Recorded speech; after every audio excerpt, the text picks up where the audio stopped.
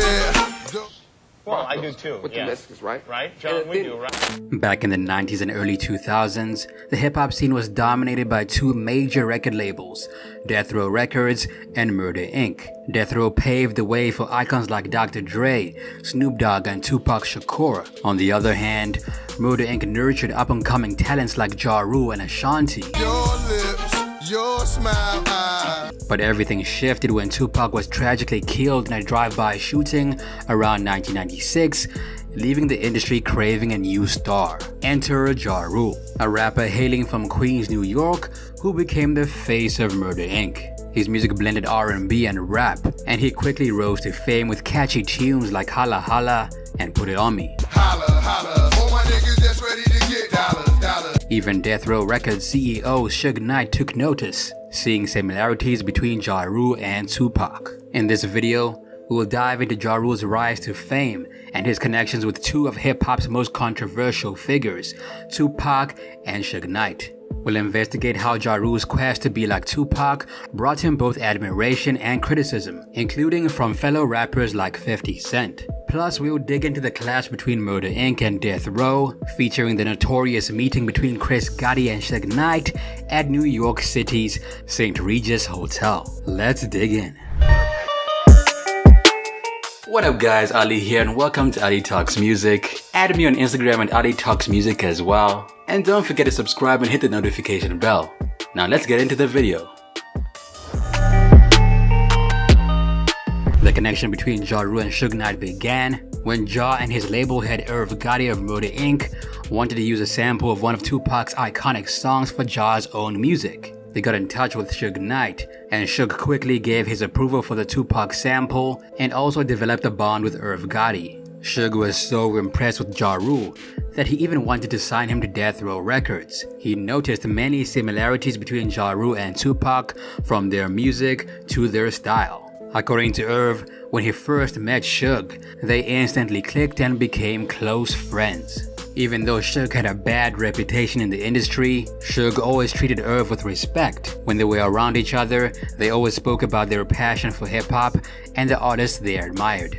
During one recording session, after hearing Ja Rule perform in the studio, Suge Knight got emotional. This is what Irv had to say on the matter. I remember Ja Rule doing something and Suge had tears in his eyes.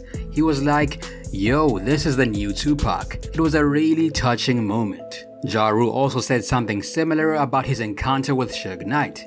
He asked me a question, and when I answered, he was like, Yo, that's exactly what Pac said. He got real emotional. He had, I guess, similar energy to him because he asked me a question, and when I answered, he said, "Yo, that's exactly what Pac said." However, not everyone was a fan of this connection. Ja Rule was often criticized by the public for trying to be like Pac, and to add fuel to the fire, 50 Cent, an up-and-coming rapper also criticized Ja Rule for being a Tupac copycat. Everybody wants to make comparisons to Pac and X and me. Y'all just want to see Pac come back? Y'all want to see this? It's here. nigga. It's here. It's here. Around 2003, to the delight of rap fans, Eminem, 50 Cent, and Busta Rhymes teamed up for a diss track aimed at Ja Rule called Hail Mary 2003. Bitches wearing rags and photos. John's words being quoted in the source, stealing pop shit like he just wrote it. They took the 1997 Tupac classic Hail Mary, remixed it, and added some fiery lyrics directed at their rival, Ja Rule. This epic clapback was inspired by Ja Rule reworking Tupac's Pain into So Much Pain for his album Pain is Love. The trio did not hold back, poking fun at Ja for trying to copy Pac's style and making it known that Ja Rule could never fill Tupac's shoes. Not one to take things lying down, Ja Rule fired back with his own diss track, Loose Change, taking M and 50 Cent and Eminem. One line that really stung was, Em, you claim your mother's a crackhead, and Kim is a known so what's Hailie gonna be when she grows up?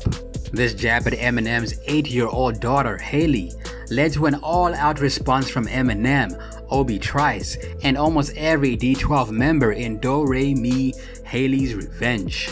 I'm about to get rid of some hoes. It's simple. I murder with lead, and I ain't talking about a. The beef between Eminem, Ja Rule, and 50 Cent became one of the most talked about rap battles of the early 2000s. The media could not get enough of all these diss tracks, but interestingly, despite the controversy surrounding Ja Rule's imitation of Pac, his friendship with Suge Knight stayed strong. Suge had a lot of respect for Ja, and saw a lot of great potential in the rapper. However, Every friendship has its fair share of challenges. As mentioned earlier, Murder Inc. and Death Row were always on good terms, but they eventually clashed when Suge Knight tried to steal Ja Rule from Murder Inc. According to Gotti, Suge was a predator, and all predators make one move to see how far they can get away with something.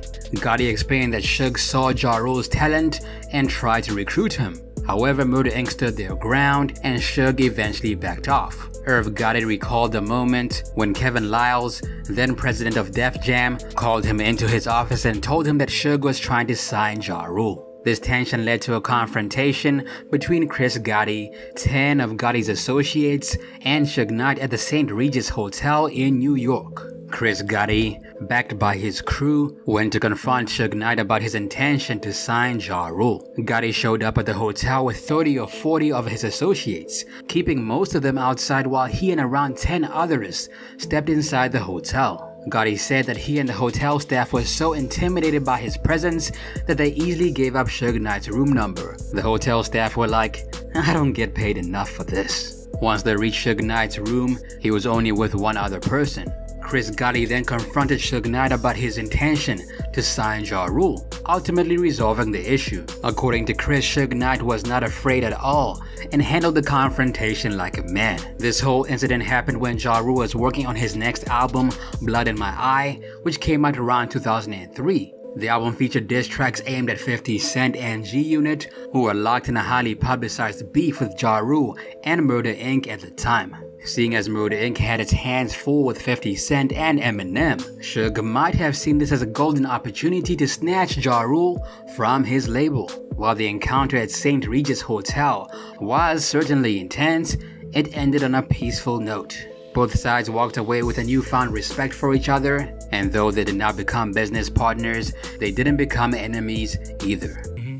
And uh, I went knocked on the door. He came to the door. We started talking. And, you know, he understood that um, basically Murder Inc. This is how we feed our family. Shit was in the room with one person. We made sure he came out and sat down. Mhm. I'm giving you a very nice, Yeah, yeah, yeah. The clean PG yeah, version. Yeah, yeah, yeah, yeah.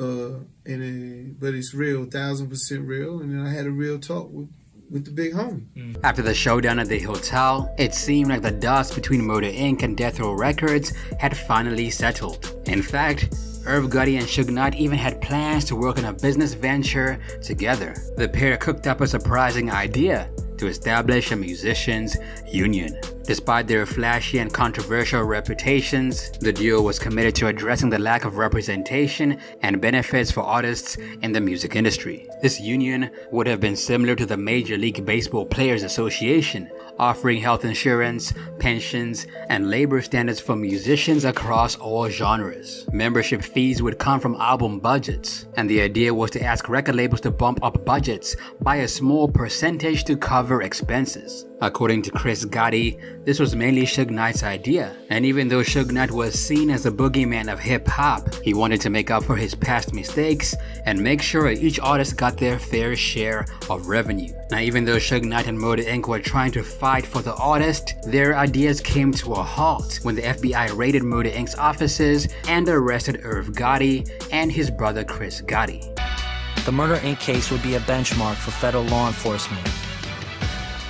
Trial of money laundering, murder, extortion, and hip hop music. Now, this story has been covered a thousand times, so I won't get into the details, but for those of you who don't know, Murder Inc. was accused of laundering money and was said to have connections to the notorious drug lord Kenneth Supreme McGriff. In conclusion, the ties between Ja Rule, Irv Gotti, and Suge Knight are a tangled web. With the ascent of Murder Inc. and the decline of Death Row Records, Ja Rule seized the spotlight. I know a lot of people hate on Ja Rule today, especially after 50 Cent destroyed his career. However, back in the day, Ja Rule was quite respected in the hip hop community. At the time, people thought that Ja Rule was trying to sound like DMX, and also thought he was trying to sound like Pac. However, after Ja Rule decided to fuse R&B and rap, he found his sound. However, this eventually led to his downfall, as many people thought his singing rap style was quite soft. Despite all the comparisons, Suge Knight was impressed with Ja Rule's talent and saw many similarities between him